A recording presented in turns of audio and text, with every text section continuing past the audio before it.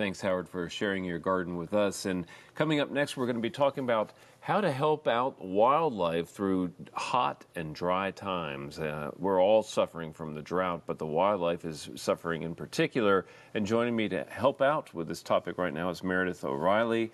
Meredith, thank you so much for being a guest on the program. Glad to be here. You have your own blog. It's called greatstems.org. Tell us just real briefly about the blog.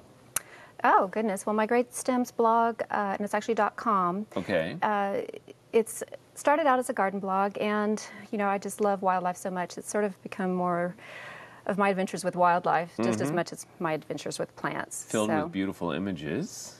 I, I try. They're not as beautiful as some, but I enjoy it. That's great. That's great. And this is a, a, an important topic. Um, lots of us garden with wildlife, but there's a particular class of gardeners out there who garden for wildlife. They're called wildlife stewards. What does that exactly entail? Uh, habitat stewards are uh, volunteers with the National Wildlife Federation, and we actually go through a training program that um, teaches us more about the native plants in our area, and then we uh, go out to the community and we work with homeowners, we work with uh, businesses, different organizations to help create habitat there at, at their locations, help restore habitat, educate the community, help build schoolyard habitats, and right. so far, so forth. All right. Well, speaking of, of, the hot times that we're dealing with now, the, obviously the most important thing that we can offer to wildlife uh, is water. Is water. Mm-hmm. Right, and this is the essential, and, and, it, and it's almost magical the effect having a source of water has in the garden because the amount of wildlife increases exponentially. It really does, and if you have you know larger sources of water like like ponds, then mm-hmm. it's really tremendous how much wildlife gets attracted to your garden. Mm-hmm. But uh, you don't have to have a large pond. You right. don't have to have a small pond. You can work with bird baths and other sources as well. Right. Well, bird baths are uh, easy for most gardeners, but uh, maybe too large for some. And uh, there are alternatives, and uh, just simple trays, uh, ceramic trays that will hold the water uh, will attract quite a few uh, critters to the garden. Absolutely, I I have lots of these ceramic saucers in my in my garden, mm-hmm. and what's nice about them is that you can put them down low on the ground for toads and frogs. You mm-hmm. can raise them up onto a stump or a pedestal or a table to uh, keep the birds off the ground to right. keep them safe. Right. They are super easy to clean, mm-hmm. uh, and you can use them for other purposes. Right, and uh, that's well. a nice thing to think about on the cleaning side is having the slick surface of a ceramic, for example. And we will talk about hygiene and, and bird baths and, and, and watering things as well. And for those who are wondering later, we will be talking about the fruit. There's a specific purpose for that as well. But uh, the, you can put these out on your patio, and you'll be surprised by the amount of wildlife that will come to uh, those. So uh, really great. Now, uh, you also talk about puddling areas. And for those who aren't familiar with that phrase, what does that mean? It's referring to what butterflies do when they go down to the ground or to sand or, mm. or surface rock surfaces and so forth to get minerals, salts, you know, nutrients. It's usually the male butterflies that do this, and its purpose is for reproduction. It helps mm-hmm. uh, those nutrients get transferred to the female, and then mm-hmm. they have more successful reproduction. Uh, so puddling is referring to how all those butterflies will go down, not not just to um, the damp soil, but they'll actually go down to um, dog feces. They'll go down mm-hmm. to uh, dead animals. I mean, it's kind of gross mm-hmm. where they will sometimes get their nutrients. But puddling uh, in the home garden, you can use a saucer like this to keep some damp soil in mm-hmm. so that the butterflies can get those nutrients. Okay, so you can um, uh, put this down into the garden, put a little bit of soil in it, and mm-hmm. actually keep it kind of muddy. Exactly. You can mix in some compost mm-hmm. or uh, some sand or mm-hmm. a, a, little salt, and uh, they may go down to it. They may go right to a different area of your garden. You know, you really don't know, but it's just another way that you can attract okay. butterflies. All right. And uh, in, in, terms of food sources, there are a lot of different things to consider. You reference the fact that uh, the, the habitat stewards learn about the native plants, and that's obviously the, where you should start, right? Native plants are absolutely the best food sources for our native wildlife. Mm-hmm. You know, for the for butterflies, with where they lay their eggs, um, they need very specific plants. They're caterpillar host plants, and it has to do with the chemistry between um, that caterpillar and that plant, something that's evolved over many, many Right. thousands of years, uh, those caterpillars need very specific plants, and they are our native Mm-hmm. Well, they provide the foliage to be eaten for Exactly. caterpillars, but they also provide flowers, they provide fruit, they Mm-hmm. provide so many other things as well. Fruits, berries, and seeds. Right, seeds, Mm-hmm. exactly. You know, these are all things that the wildlife absolutely depends on, and uh, there's nothing better for attracting some of our most colorful birds, I think, than uh, berries and plants. My favorite Absolutely. native plant, just about my favorite. Uh, it's hard to choose, but possum haw holly. Oh, Uh, so many, so many berries on there. A great berry plant and uh, cedar waxwings and the mockingbirds.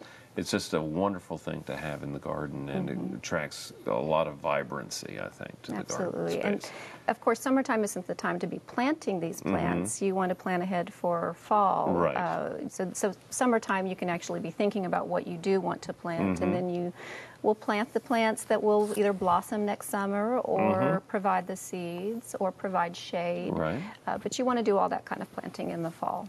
One tip that you like to give has to do with uh, uh, when it comes to the plants is leaving seed heads on the plants for a longer period of time. And I have found that, for example, like with echinacea, you know, my tendency is to go in there and clean up the garden.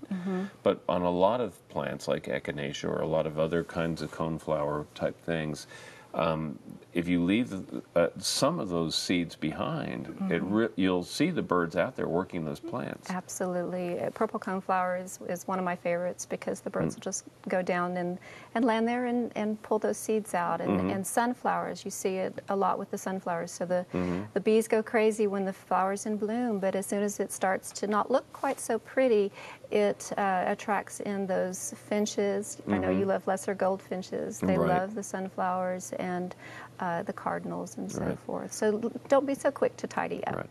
Well, supplemental feeding is always something that um, people want to do, and there are some do's and don'ts. Let's start with the do on the uh, the, the the feeding mixes that you like. Uh, this is what I'm holding here has a mix of, of striped sunflower, black oiled sunflower, peanuts. I see safflower and some Niger thistle in there as well. Uh, this is your preferred mix, right? It really is. Uh, most of our songbirds are going to be drawn to these seeds, uh, and then uh, that cracked corn is also yeah, in there's, there. there's a little crack corn in here as well. and uh, you'll have blue jays and woodpeckers come to that. They'll they'll look for those peanuts. The chickadees love the peanuts, and almost all of them will like that black oil sunflower. And you don't have to get the seeds that have the holes if you want to reduce the amount of of hole Mm-hmm. Right. mess that may result. yeah. But uh, It's always part of the equation. I add it to my compost, and yeah, it works it's out easy. just It's easy to deal with. Okay, on the don't list, it's this millet seed. millet and I think that's Milo in there, and Mm-hmm. it's, and you can see how very little uh, sunflower they actually added to that mix. So this Mm-hmm. is this is a, a cheaper mix that you might find in a grocery store, Right. um, but. The, the birds that are more attracted to this are the English house sparrows Mm-hmm. and the white winged doves and the starlings. They like to eat that seed direct, directly without having the holes on it. Mm-hmm. Right. So if you're having a problem with English house sparrows, well, anybody who has even one Yeah. English house sparrow has is a having problem, a problem. right. Uh, they are pest birds, and Right. we really want to discourage them. So removing that seed Mm-hmm. from your mix is your best bet. And I said we would talk about the fruit in, in this, and, and putting fruit out uh, is great for the butterflies, correct?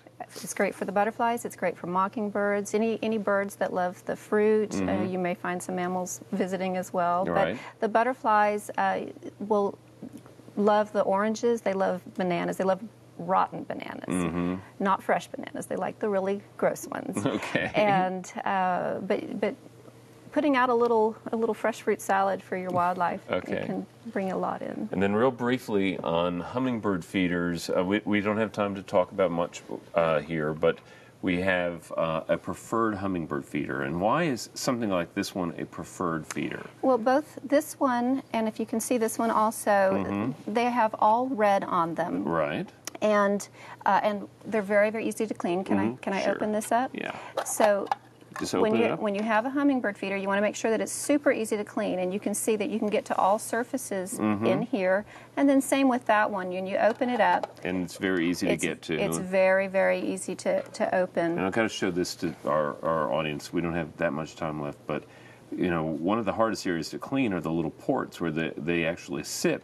But there are brushes available, I'm sure, at mm-hmm. wildlife stores. Absolutely. And you can, and they're specially made just for this purpose, which is really great. Mm-hmm. I definitely recommend that. And then I use a, a brush that you would use for a baby bottle. I mm-hmm. use that to clean the inside with some Mm-hmm. Vinegar. So good hygiene is really important on these things. You don't want Definitely. you don't you you track the birds. You don't want to make them ill. So real briefly again, I want to give people a chance to connect with you. The website is greatstems.com. yes. And it's a blog, and uh, again, uh, from what our producer says, some gorgeous wildlife images for everybody to check out and see. Thank you. And thank you so much, Meredith O'Reilly, for being our guest today. And we hope that you've learned a few things out there that will help our feathered and other friends through the drought. Uh, coming up next, it's our friend Daphne.